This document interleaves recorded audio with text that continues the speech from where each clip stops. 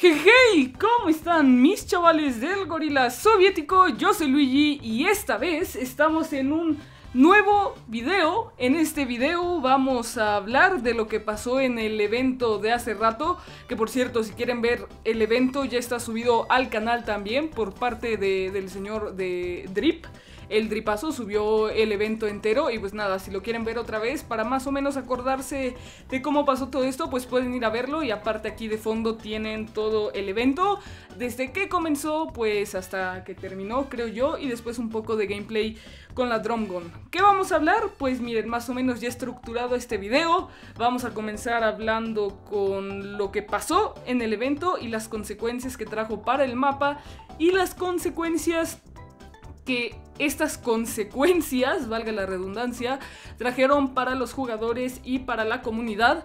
Y ya después hablaremos del tema de la drum gun o del subfusil de tambor, que yo creo que es lo que causó más polémica y más enojo o estrés a los jugadores y también confusión, ¿no? También vamos a hablar de eso. Va a ser un video un poco diferente y más de, mi parte, que yo no acostumbro a subir este tipo de videos, pero pensé que sería una buena idea, ya que aquí yo les voy a dar mi opinión, de algunos miembros del, team, del gorila, y luego pues me interesaría muchísimo saber su opinión que, que dejarán en los comentarios. Y recuerden que si nos quieren apoyar pueden usar el código gorila soviético en la tienda y ya nos pueden mandar su compra eh, con el código por Twitter que es arroba el soviet gorila. Ahí les podremos dar un corazón, un retweet, compartir el tweet, mandarles un saludo o, lo que sea posible en Twitter. Así que no nos vamos a andar con más rodeos y vamos a, al temilla. Comencemos con las consecuencias que ha dejado este volcán. RIP Tilted, RIP Retail Row y próximamente, pues lo más seguro es que adiós a Polar Peak, ¿no? A Pico Polar, lo más probable es que se vaya también. Miren, lo de Tilted es algo arriesgado, ¿eh? Porque mucha gente, pero mucha gente iba ahí a tryhardear o a hacer muchas kills, o sea, lo que sea. Iba demasiada gente, no nos vamos a mentir. Se podría decir que es el lugar más popular de todo el juego, era el lugar más popular de todo el juego. Con esto que logró Epic Games, pues hay de dos, gente, que Tilted siga siendo igual de popular y vaya la misma cantidad de gente, o incluso que vaya más, o que maten Tilted y la distribución de gente en el mapa sea mayor y pues en todos los lados haya personas. O sea, a mí me encantó que destruyeran Tilted, no les voy a mentir hasta sentí escalofríos, güey, de la felicidad. O sea, cuando vi que los meteoritos cayeron ahí. O sea, no es que lo odiara, pero prefiero otros lugares, sinceramente, aunque respeto mucho a la gente que, iba a Tilted. O sea, ya era justo. Tilted se salvó de un chingo de cosas, eh, para ser sinceros. Y bueno, Retail pues fue un golpe para los OGs, para esa gente que está desde el principio del juego. Pues, o sea, Retail era popular, no al punto de tilted, pero sí iba suficiente gente. O sea, ibas ahí, si podías salir con 5 o 7 kills si la jugabas muy bien. Otra localización OG, pues que se nos va, ¿no? Y Polar Peak, eh, o sea, no es que me importara mucho, y creo que a mucha gente tampoco le importaba.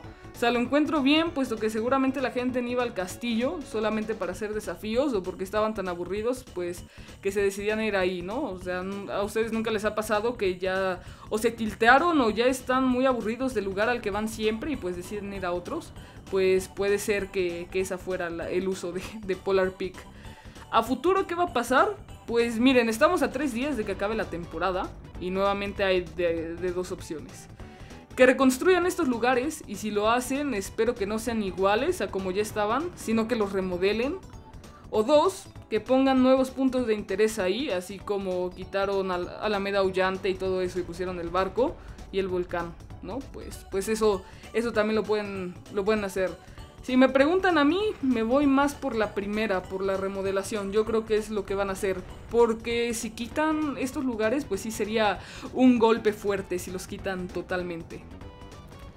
Y pues nada gente, vamos a pasar con lo de la Drum Gun. Pues el evento ya sucedió con algunos bugs. A mucha gente no, no le apareció el evento. Eso le pasó a un, a un seguidor ahí en Twitch que me estaba comentando que no pasó absolutamente nada en su partida. Pues la comunidad ya votó, el subfusil de tambor está de vuelta. O sea, ya no se puede hacer nada. A muchos les gustará y muchos odiarán esta decisión. Pero la pregunta central es, ¿va a romper este arma el juego? Desde mi punto de vista, sí. O sea, este arma regresó como se había ido, con un cargador inmenso, una cadencia bestial y un daño moderado.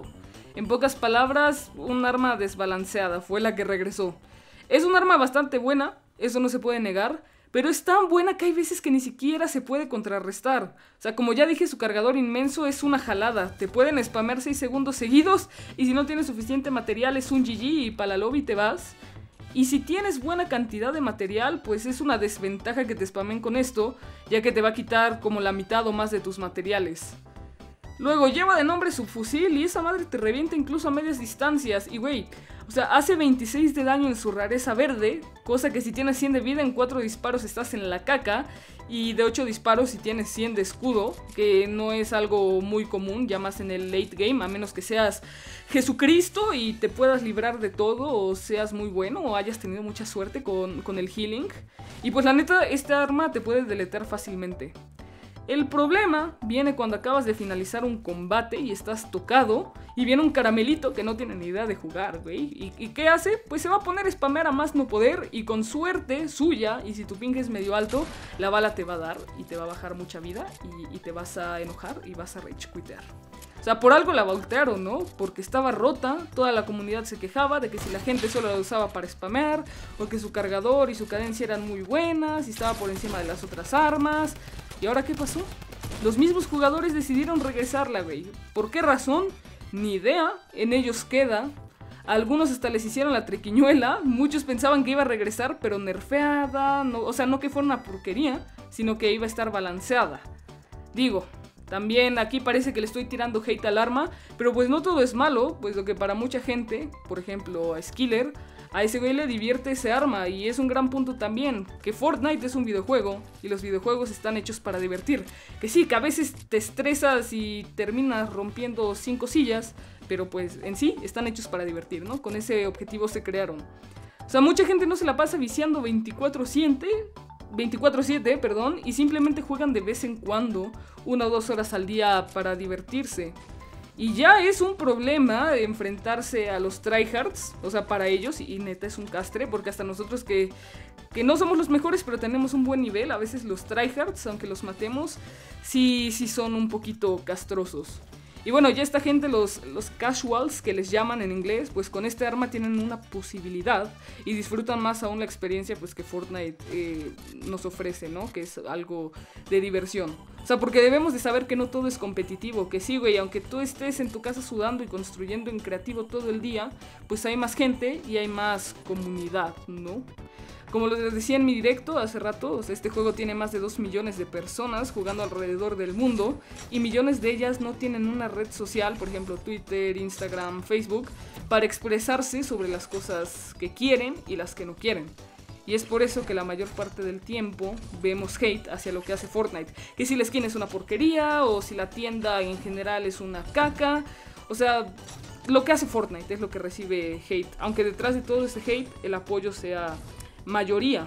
Un ejemplo es el revert, el que todos queremos y anhelamos, o tal vez ya no tanto, de que cuando matas a alguien pues te den 50 de vida o 50 de escudo o te den materiales, ¿no? O sea, el hate hace más ruido normalmente, porque si estás a gusto con algo, pues para ti qué sentido tendría hacer tanto ruido por ello, ¿no? O sea, mejor te quedas tranquilito en tu casita disfrutando de lo que ya estás haciendo o lo que ya está presente en el juego. O sea, en Epic Games no son tontos. Y si por algo no han hecho el tan famoso Revert, pues es, es por algo, ¿no? Tienen sus razones, saben que hay una comunidad detrás que no se sentía a gusto con, este, con esta configuración de sifón en las partidas. Pues ya en conclusión, esperemos que la Drum Gun sea balanceada, que la nerfen un poquito porque la neta sí está rota. En realidad yo voté por el Bonespad, el Bonespad Gang, pero lástima, güey, o sea, toda la gente, literal, toda la gente, solamente como 20 personas estaban aparte votando por otros objetos. O sea, la gente de verdad quería la, la Drum Gun, se, se notaba. Y pues miren, este, este arma, o sea, regresó para quedarse, güey. Y para quedarse un muy buen rato. Porque díganme, ¿qué lógica tendría que Epic Games metiera un arma que estaba fuera del juego ya para sacarla nuevamente en unos meses? O sea, eso no tendría sentido, dude. Y si no la balancean, pues ¿qué nos queda? Nos queda acostumbrarnos como lo estamos haciendo con el Revert, que cada vez hay menos gente pidiéndolo, esta gente se está acostumbrando y pues no nos va a quedar de otra, chavales. Así que nada, espero que les haya gustado, amigos LOLs, este video que, como les digo, fue algo diferente de mi parte. Me puse a pensar, a ver argumentos lógicos sobre lo que podría decir. Y pues nada, esta fue mi opinión sobre el arma y ahora espero la suya, es su turno, así que me la pueden dejar en la caja de los comentarios. Como les decía, pueden usar nuestro código en la tienda, Gorila Soviético, para gastar unos pavitos, que digo, no les da ningún descuento, ningún ofertón, pero a nosotros, aunque no lo crean, sí, sí nos ayuda una buena cantidad. Así que nada, espero que les haya gustado. No olviden dejar su like, suscribirse para más, activar la campanita y nos vemos hasta la próxima. Adiós.